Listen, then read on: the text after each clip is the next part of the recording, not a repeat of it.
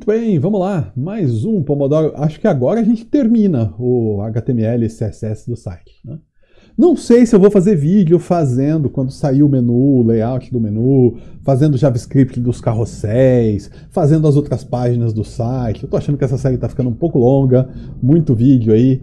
É, no final não deu muito trabalho, foi umas duas horas e meia de trabalho vai dar no total aqui pelas, pelas minhas contas, né? Foi esse tanto de vídeo que eu, que eu já fiz, né? É, vai dar um pouco mais de duas horas e meia aí, mas duas horas e meia de vídeo para assistir, ainda mais assim, né? Que é live coding, é, não é um vídeo roteirizado tal. Não sei se vale a pena continuar. Deixa comentário aí, cara, se você tava afim de ver o JavaScript também, tava afim de ver as outras páginas tal. Se não, vou fazer outras coisas, tem muito vídeo pra gente fazer aqui. Bom, vamos lá, vamos continuar então. A gente tinha parado aqui, olha só, vamos dividir a tela novamente. Tinha feito o site todo, exceto o rodapé, o footer. Então tá na hora de fazer o footer. Vamos lá para o footer, vamos ver como ele é. Vamos planejar isso. Legal, aqui ele tem duas colunas, o conteúdo se alterna. Aqui ele, o conteúdo está sequencial. Então esse aqui está na esquerda, isso aqui está na direita, isso aqui está na esquerda. Isso aqui está na direita, só aqui embaixo, tá vendo? Esse aqui sobe quando vem para cá. Legal. E aí aqui embaixo uma lógica parecida. Tá. Bom, vamos começar com HTML. Depois eu estou pensando aqui. Acho que eu vou usar grid para fazer esse negócio aqui. Vamos lá, vamos lá.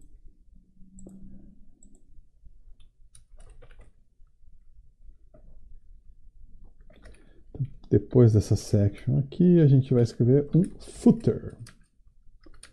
O mesmo esquema, o footer vai ter um div dentro dele para fazer o controle da largura no, nos monitores Full HD e etc. E a primeira coisa é se queremos conhecer o seu projeto. Isso aqui tem um font size de 36, inclusive no celular. Que outra coisa tem font size de 36? Ah não, no celular é menor. Aqui é 32. Esse cara aqui é 30.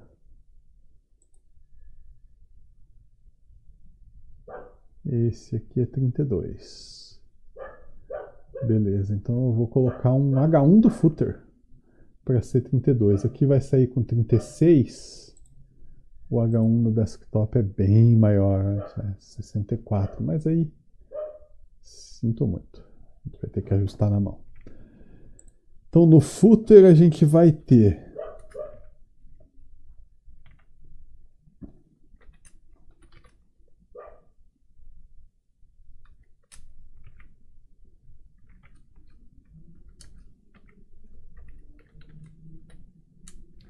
um H1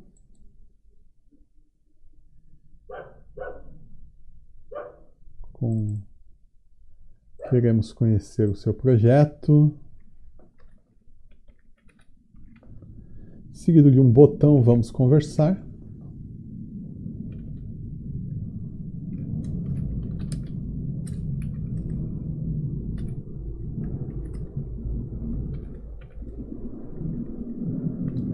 Isso já existe aqui, né?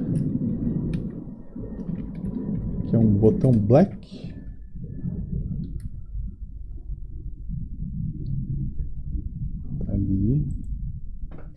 Depois disso, o endereço.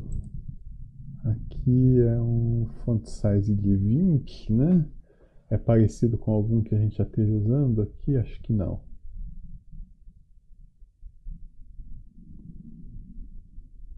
Não, tem mais nada com esse mesmo font size, então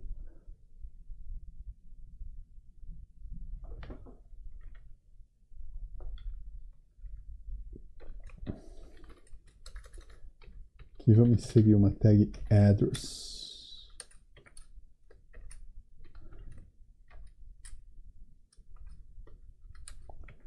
Vamos escrever aqui endereço E aqui tem esse ícone.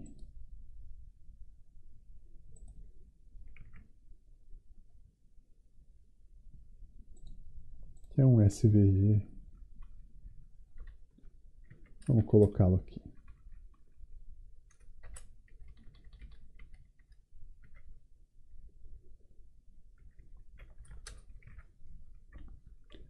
Dessa maneira, apareceu ali endereço. Aí aqui está o próprio endereço.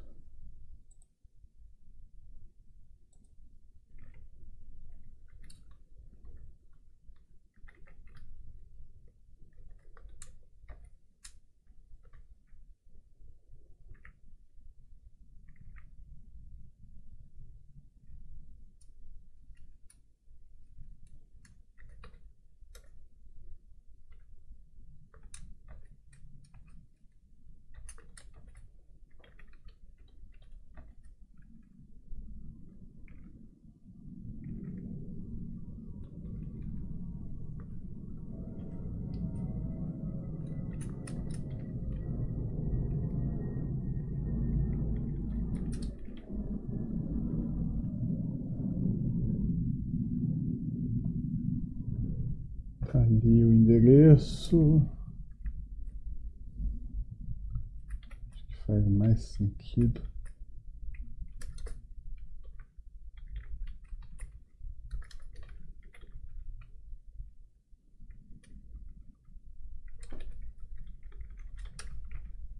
Deixar isso assim, muito bem. Então, tem um botão ver mapa.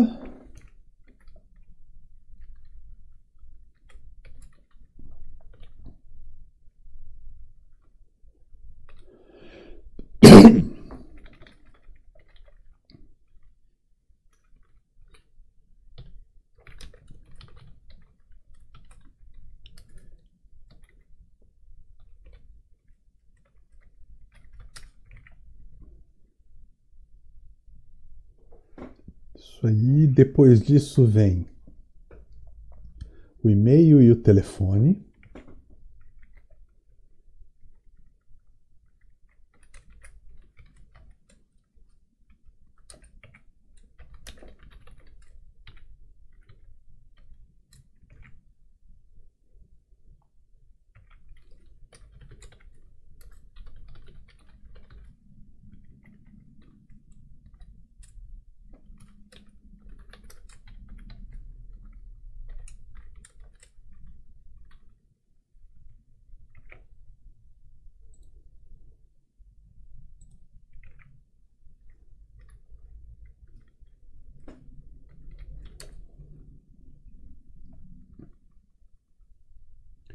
Esses links aqui eu posso já colocar, né? Já estou aqui com a mão na massa mesmo. Vou ver no mapa.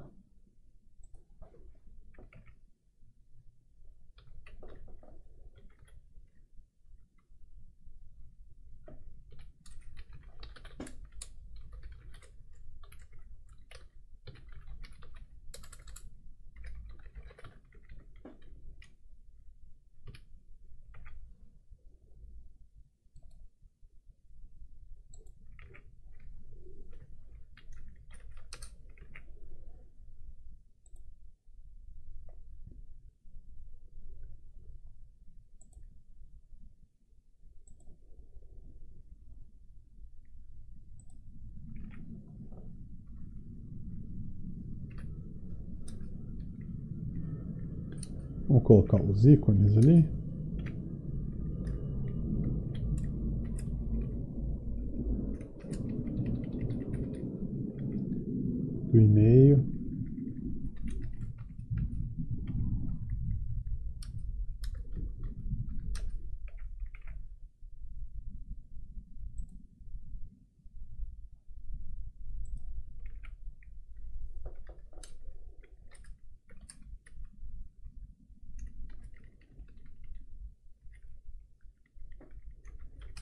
telefone.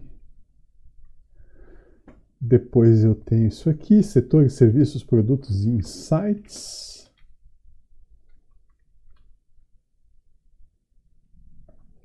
Esses gives dentro do rodapé.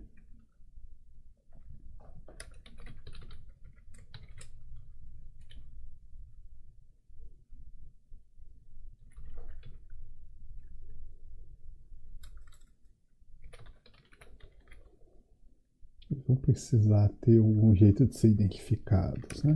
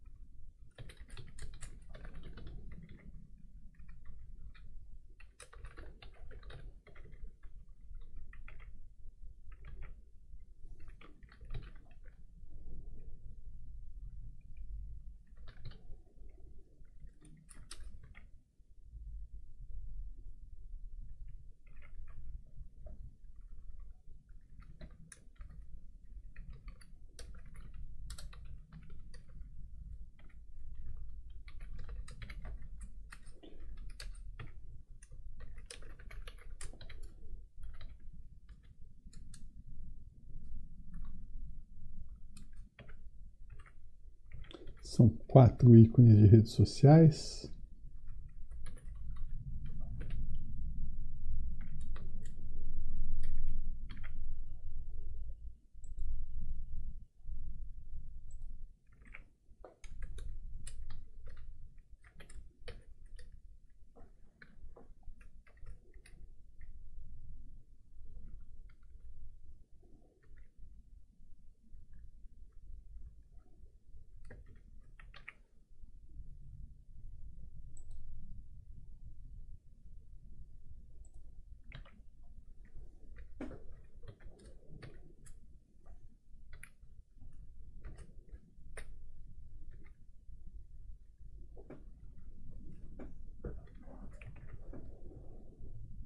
LinkedIn.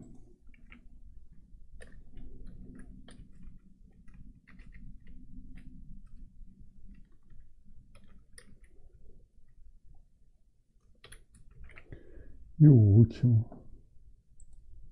YouTube.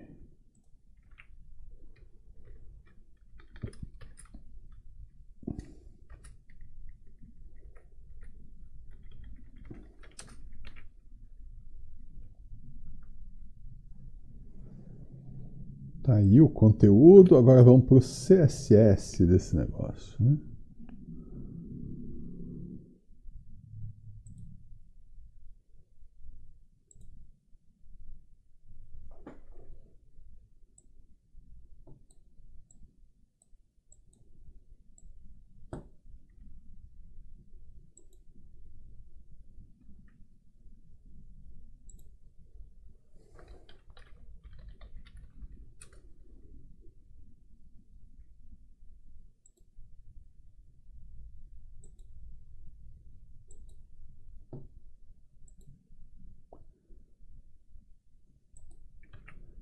É, por que está assim?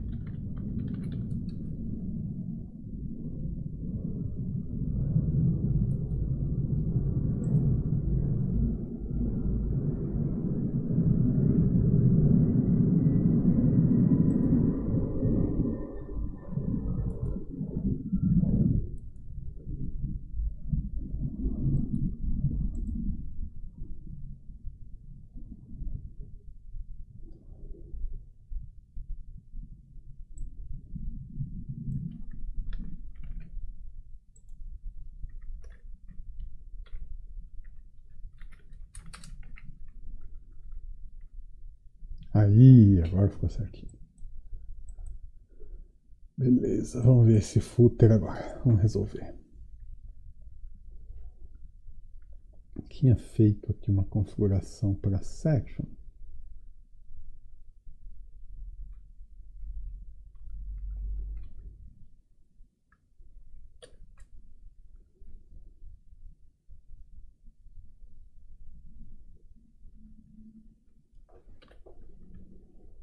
aqui na Style.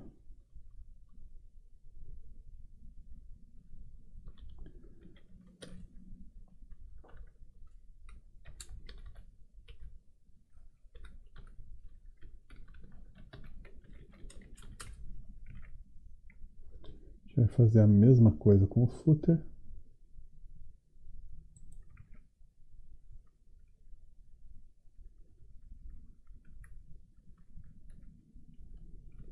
O background dele vai ser branco.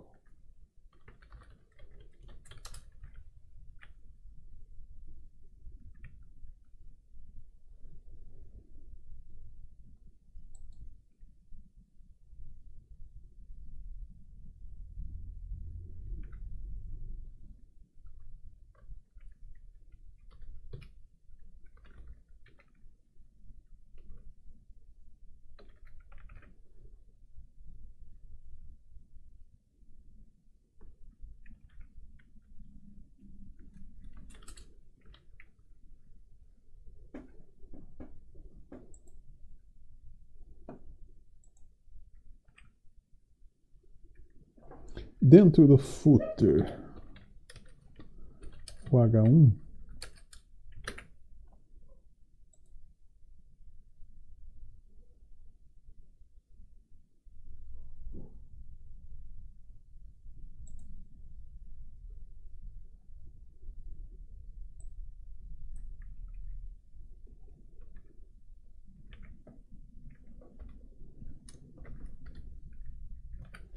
vai ter cor Black Baltic.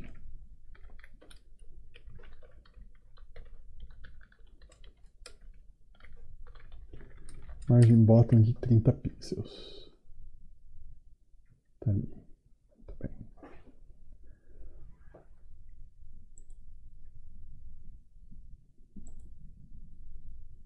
Daí para o endereço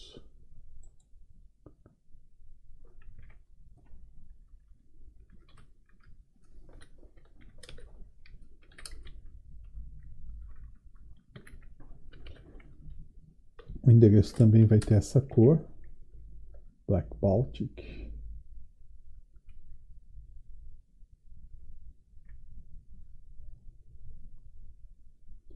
E o endereço vai ter um margem top.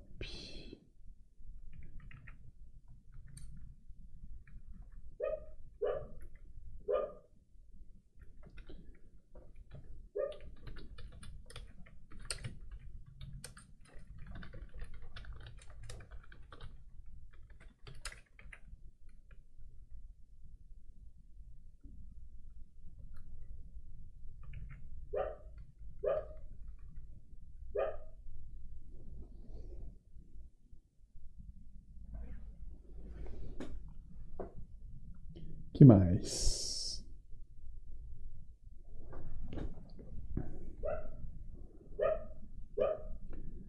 Aqui o content, né?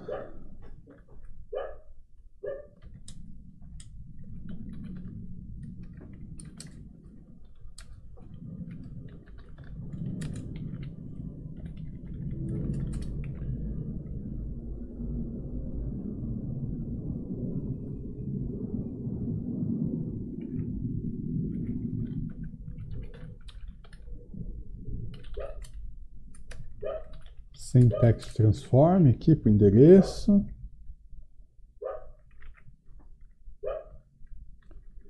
E font style normal.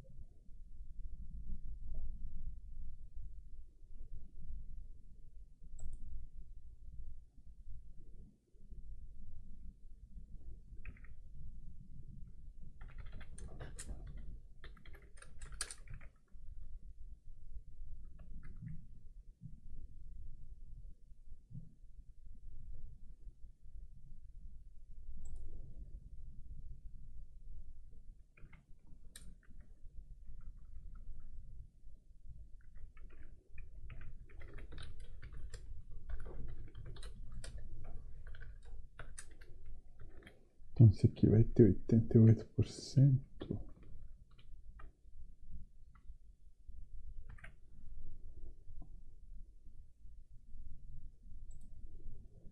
A gente está indo de 16 para 20, aqui é 125.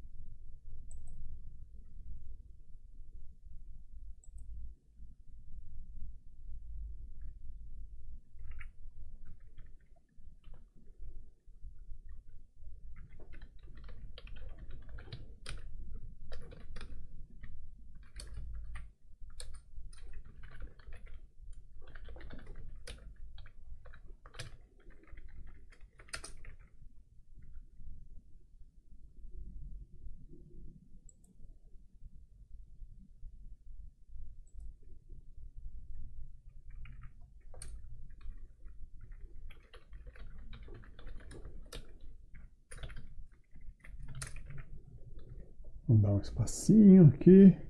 Espaço acho que é ainda maior.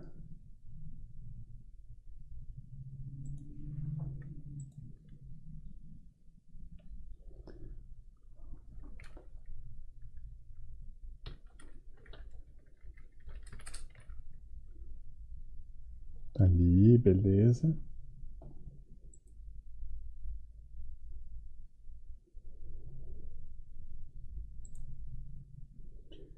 Agora vem esse nave aqui.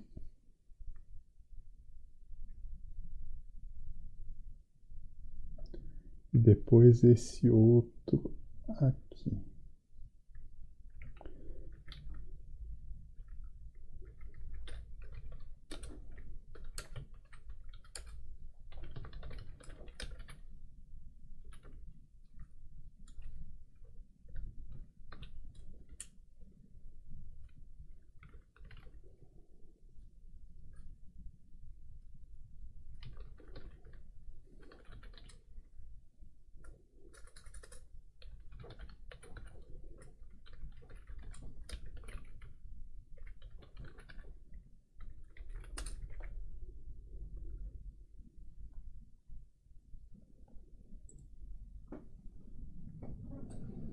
Muito bem. No celular, esse primeiro nave aqui tem que virar blocos, tá vendo? Desse jeito. Então,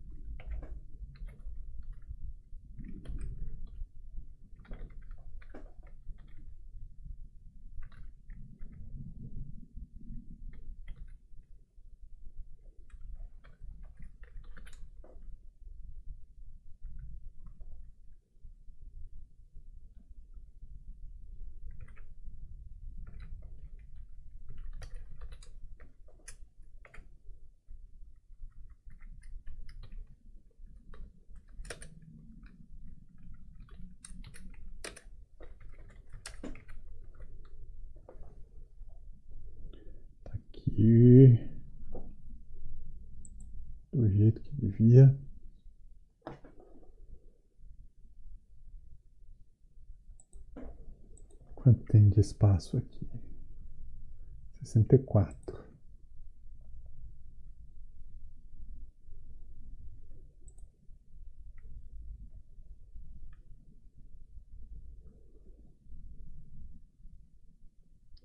Eu botei só 40 aqui.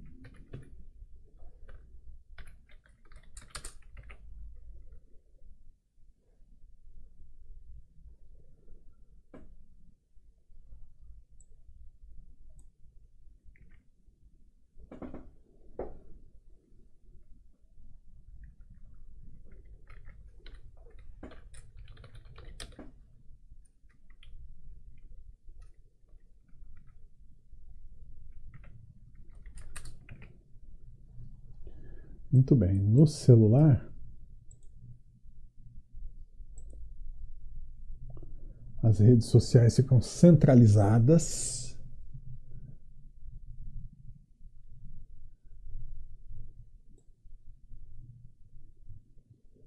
Acho que aqui é isso. Agora vamos ver no desktop aqui, olha só.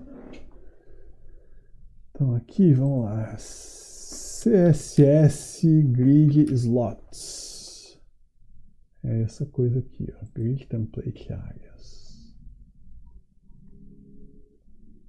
Uhum.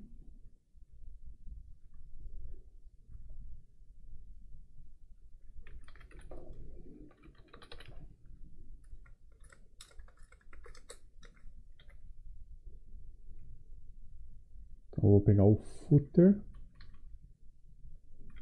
e vamos fazer arroba mídia.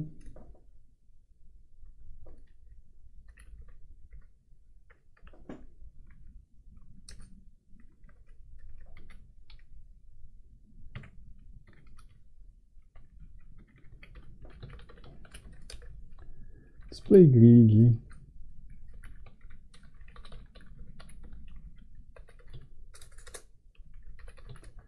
Grid template columns, um FR, um FR.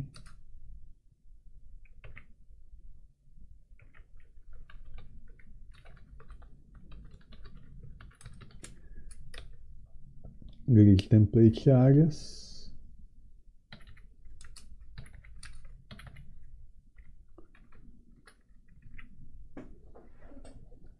Aí aqui a gente vai ter como área do grid, cadê o layout?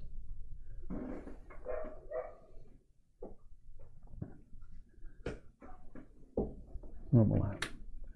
Eu vou chamar aqui. A, B, área C, um ponto, área D e área E.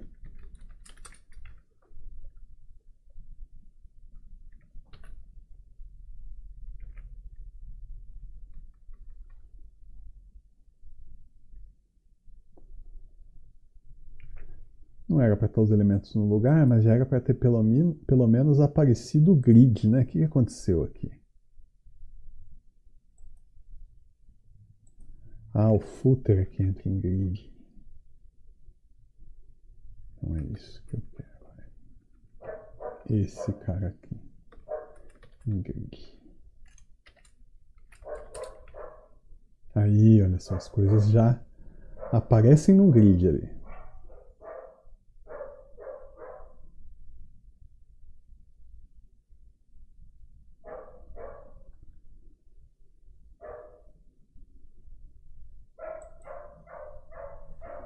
Muito bem, agora vamos ajeitar isso aqui.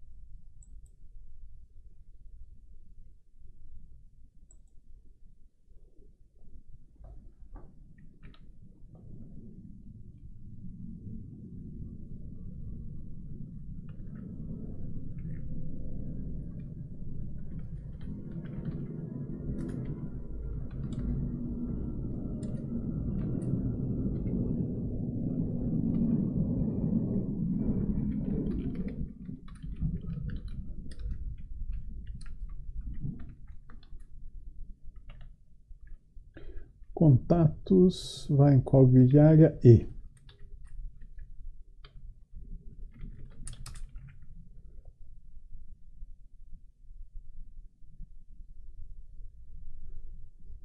Tá aqui. E o social vai na área D.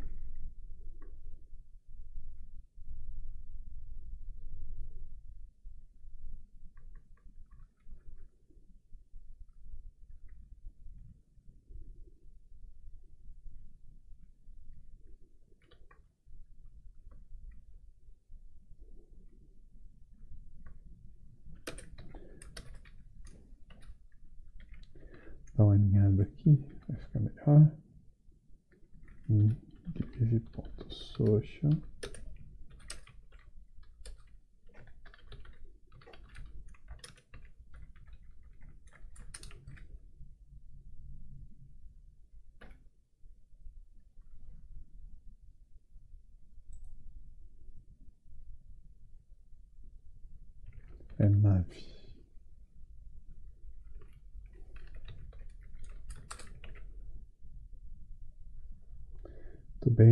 Redes sociais vão parar lá no lugar delas, né?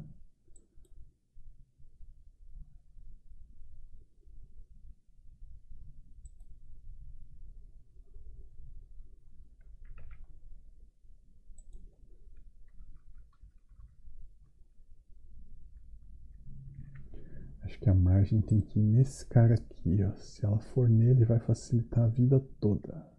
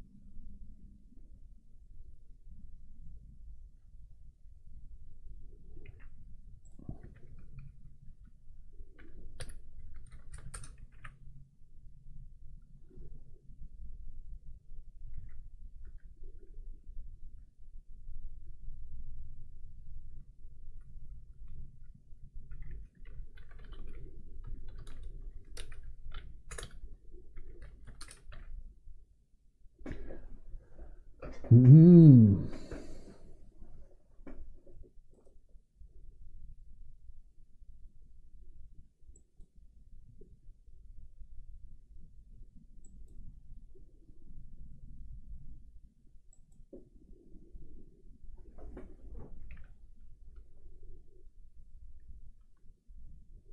Acho que a definição das áreas ali não está levando em conta o tamanho das colunas, né? Vamos cuidar disso. Acho que é assim que tem que fazer.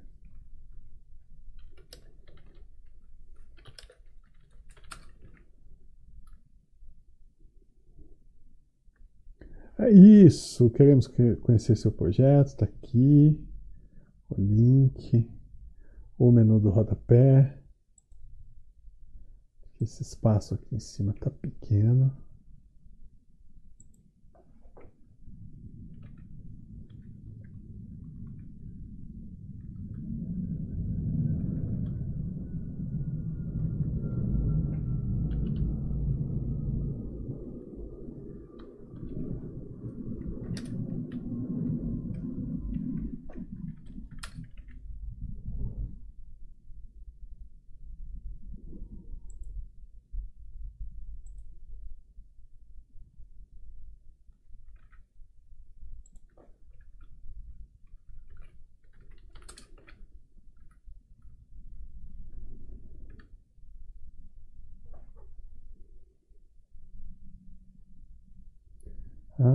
As coisas estão passando por cima do header, viu? As imagens ali e tudo mais.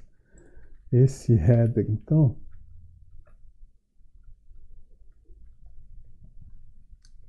Ele tem que ter um z-index. Colocar um z-index de 10 nele. Tá lá, o header ficou bom. Footer, eu acho que é isso, hein? Vamos ver no mobile agora, porque eu coloquei uns margens em espaçamentos aqui.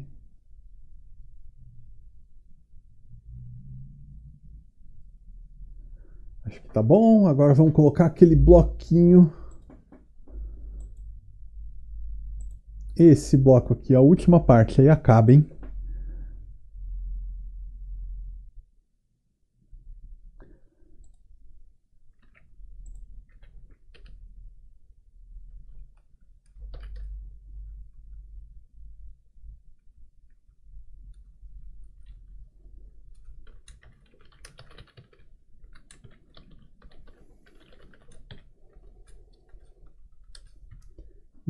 Com class copyright. Dentro dele eu vou ter um div com p.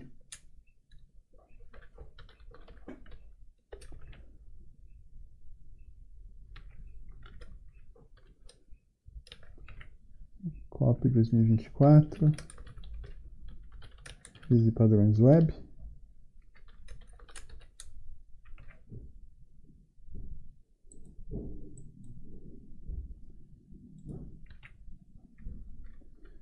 e todos os direitos reservados.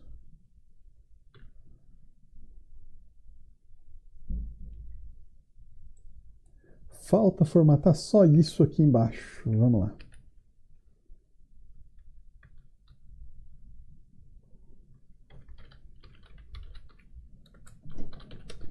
O div copy vai ter um background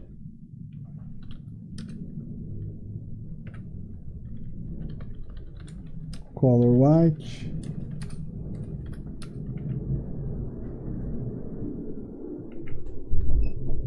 Não, ponto copy não, ponto copyright, isso. Ali.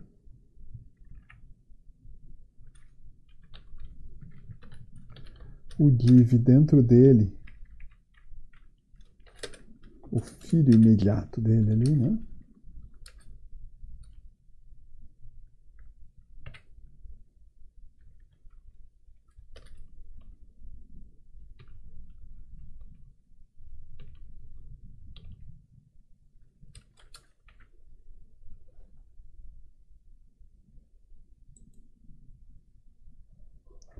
É bem menor esse espaçamento aqui.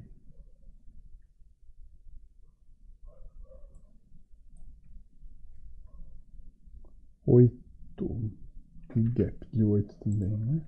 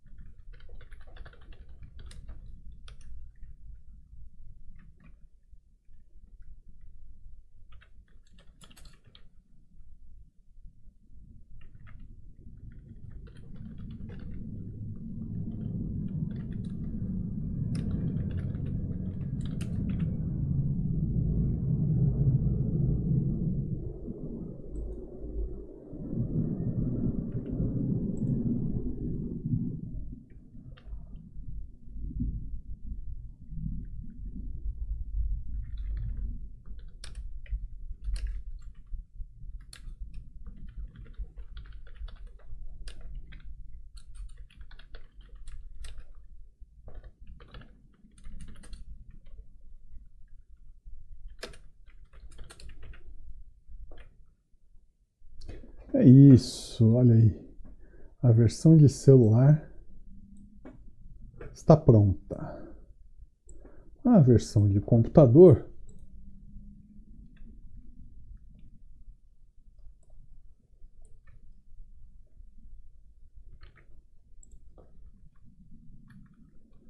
tem que ficar assim. Arroba mídia.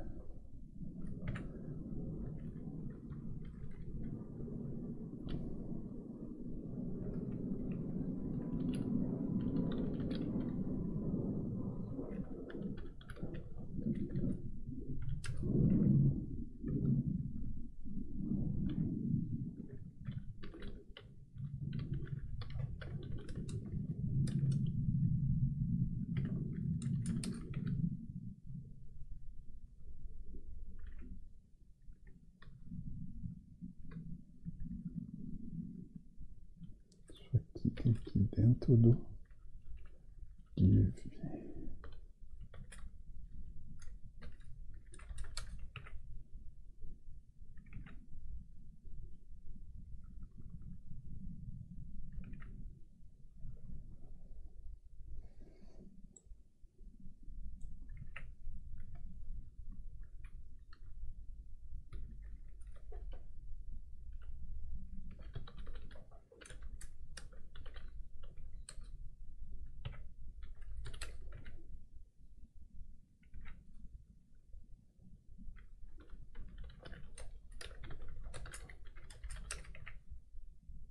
Aí, tá resolvido. Pronto. Terminamos. Olha aí. Tá aí o site. Vamos ver que números a gente tem aqui, hein?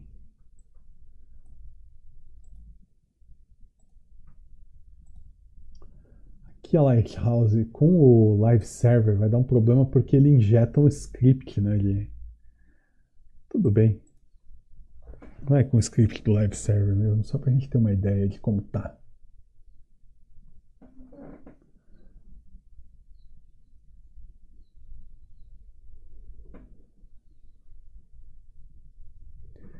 Depois a gente vai otimizar e tal, mas aí não sei se eu vou fazer vídeo.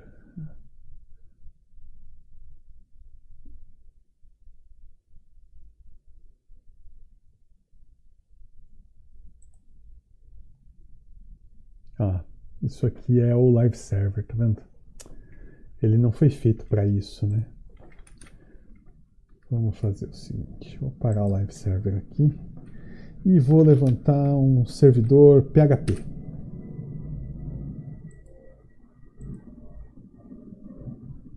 Desse jeito, tá aí. Ó. Então esse aqui não tem auto refresh, né? Não vai. Não é tão bom de programar quanto com o live server, né? Mas ele não vai injetar JavaScript na minha página. Também tem que dar um desconto. Eu estou rodando a Lighthouse com, com gravação de tela do OBS aberta ao mesmo tempo. Isso sempre é um problema.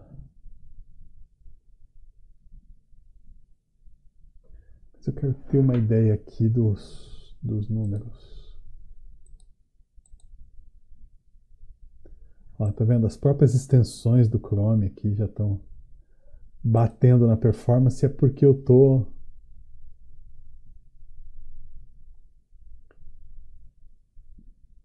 tô carregando aqui o fazendo a judiação né, de rodar o, a Lighthouse ao mesmo tempo que eu estou gravando a tela. Vamos ver o que, que isso dá aqui. Ó.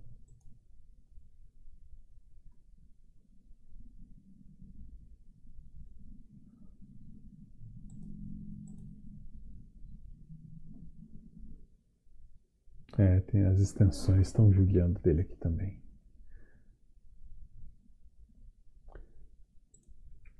Pior que eu nem sei o que é. Vamos numa anônima.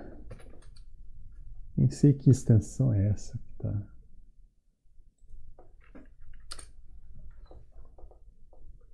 Ah, aqui sim, hein? Olha aí. Ele leu 148K.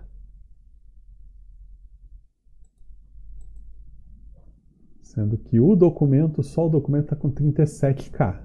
Mas ele vai ser minificado né, no servidor. Eu acho que isso são números bons, hein? Rodar Lighthouse na anônima aqui, ver como tá.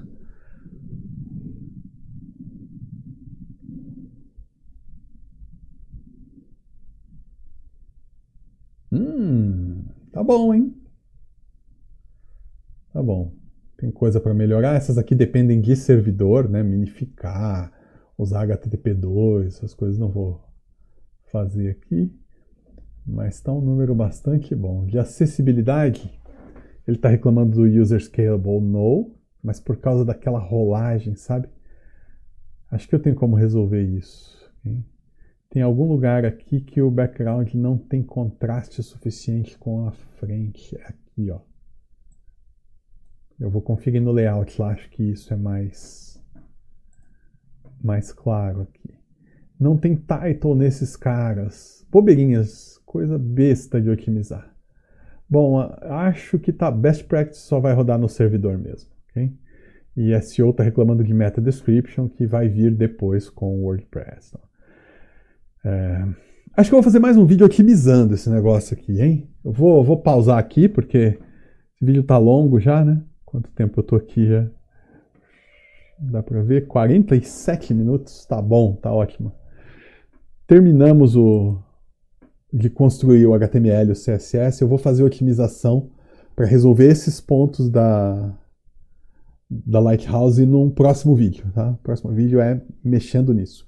E depois eu não sei como vamos continuar, se é que vamos. Né? Se é que sou eu que vou programar o resto, também não sei isso. Deixa aí seu comentário, o que, que você achou? Três horinhas para construir a home montadinha, né? Tá, tá bom? Tá ruim? Como é que é aí? Você faz mais rápido? Você faz melhor? Usa técnicas diferentes? Deixa comentário aí, deixa comentário. Valeu!